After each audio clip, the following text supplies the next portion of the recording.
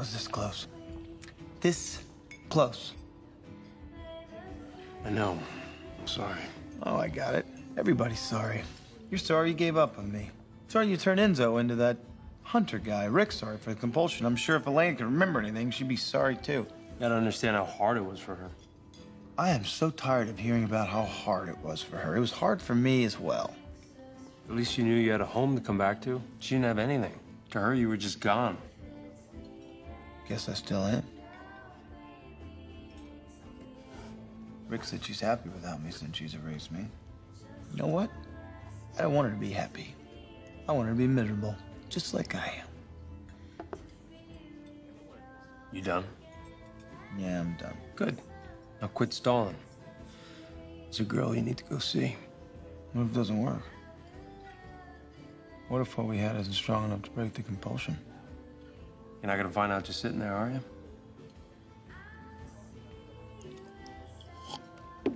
Here goes everything.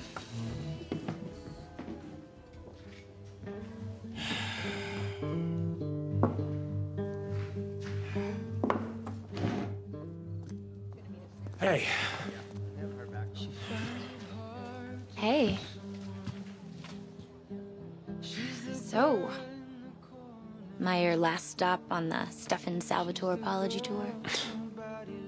Can we just get past this, please? I'm trying to. But Caroline, what do you what do you want me to do, huh? Stop making me guess and tell me so we can go back to being friends again. Yeah, well, you know, that's the thing, Stefan. After all of this, I. I don't want to be friends anymore.